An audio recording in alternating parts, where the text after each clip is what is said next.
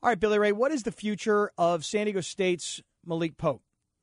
Here to have that discussion and tell us what he can mm-hmm. is the head coach of the Aztec basketball team, Coach Steve Fisher, for the first time since the Aztecs were knocked out in the semis in New York of the NIT. Coach Fisher, good afternoon. I haven't been on with you guys since then. No, and here's why. Because we like to give you a little bit of breathing room. You said you were going to get done, you were going to go to the NCAA tournament Final Four, and then you and Angie were going to go to Florida and vacation for a little while. Have you done that? Well, I went to the Final Four, but we are yet to go to Florida. Well, what happened? We've never we're we're we've got the trip planned, but it's in May. Okay, so you shouldn't be on right now. Well, no, I should be on. I always love being on with you guys.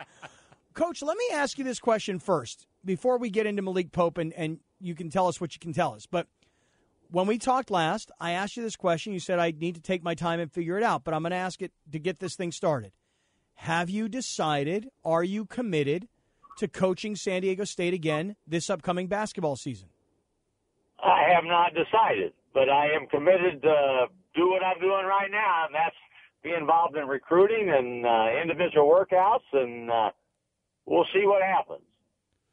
Why do you always say that? I don't know. so you'll have me back on the show, I guess.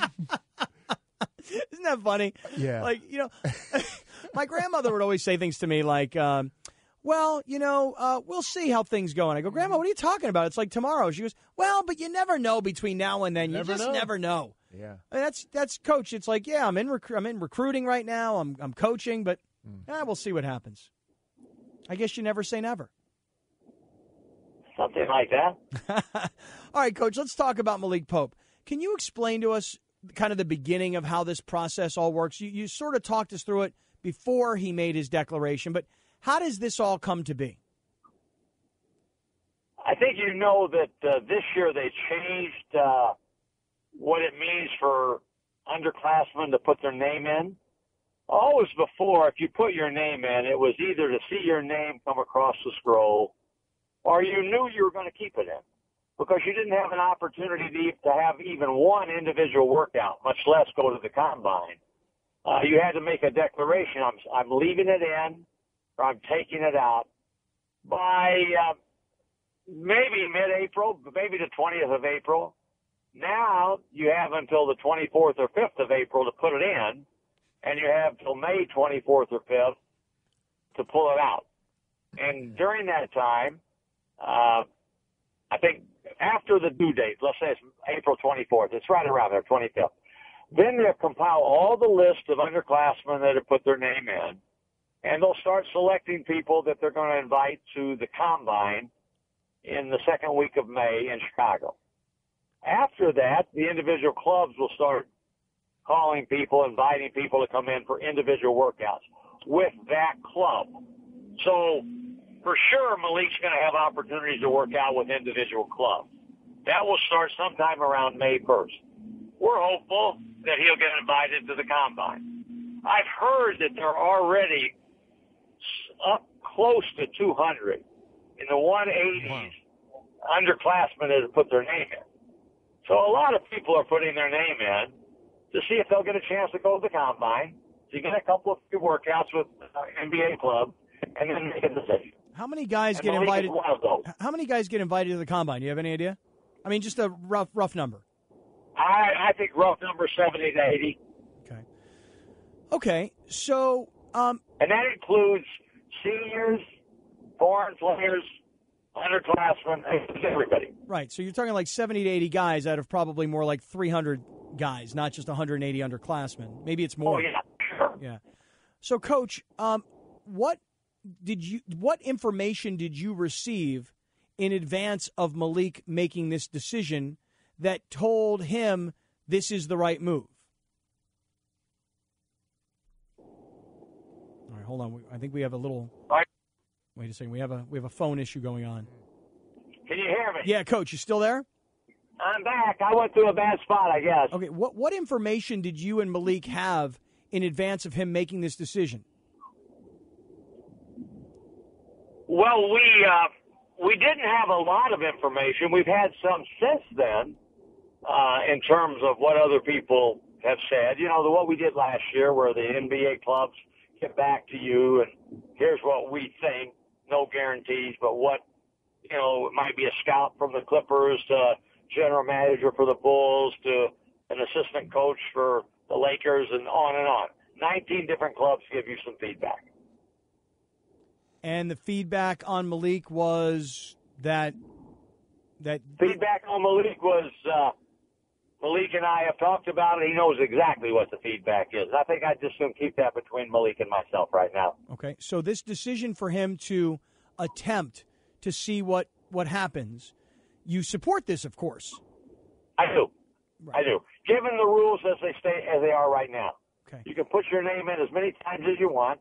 You can pull it out by May the 24th or 5th if you don't hire an agent with uh, the ability to come back to college. So it the, makes it harder on the on the on the college teams. Kids that put their name in, some of them will do foolish things. They'll hire an agent when they shouldn't. They'll wait till the very end to decide that they're going to keep their name in. And it, it, when when that does happen, it leaves you with a with a hole of the guy that you thought would possibly come back for sure not coming back. So as long as you go by the rules, there's no downside. No downside yeah. for the players. You're exactly right. Good. Do you anticipate Malik hiring an agent? No. No. So not unless he says he's coming out. Right. So so I guess in an ideal world, the way this plays out, Coach Fisher, just let me understand this is he gets to go work out. Perhaps he gets some some workouts with some teams. Maybe he's fortunate enough to get invited to the combine.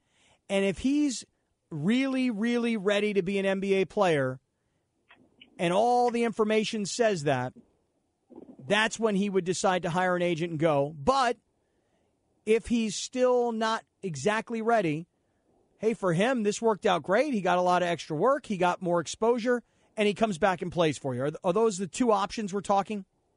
That's exactly right. Mm-hmm. That is exactly the way it will hopefully play out. Would you share with us what your gut feeling is on which way it will go?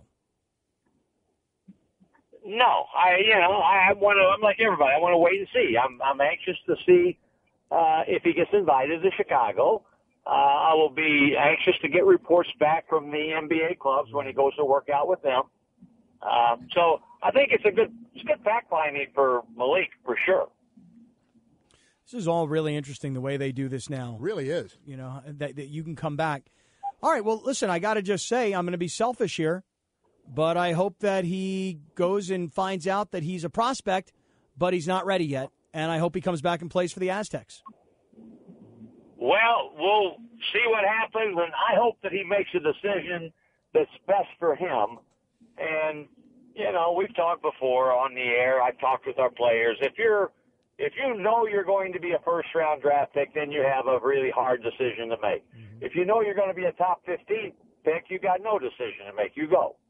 So we'll wait and see what the what the bulk of the information is, and then hopefully he'll have the opportunity to make an informed decision for all the right reasons.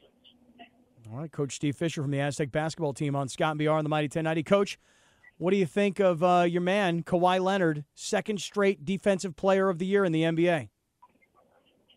I'm so happy and proud of what he's done, and uh, like everyone that's an Aztec fan, you feel as if you're a little part of what he's doing when he plays. And I watched the game last night, and uh, he's playing with such confidence and such swagger the right way. Uh, he knows he's good, and he's playing that way every night. Uh, well deserved honor, defensive player of the year, and he's uh, he's doing some things offensively that he's real close to being player of the year. Yeah, I mean it's incredible what's happened to this kid. Two-time defensive player of the year, uh, MVP Finals, MVP of the NBA Finals, an NBA champion. It's just incredible what has happened to Kawhi Leonard because you talk about this as it applies to Malik Pope. I remember a guy coming to uh, Viejas Arena sitting there. He was at the time the general manager of the Golden State Warriors. He's no longer there. By the way, that's coincided with them winning the NBA title, and now look where they are again this year. And that guy back then told me Kawhi Leonard will be on somebody's roster, but he's he'll just be a, a guy on somebody's roster. little did any of us know that Kawhi Leonard was going to become one of the top players in the NBA. It's incredible, Coach. It is incredible, and, and he does. Kawhi deserves an immense amount of credit for how hard he's worked and how smart he's worked. Uh, you got to say, tip your hat to what he's done to get where he is. Yep, that's incredible.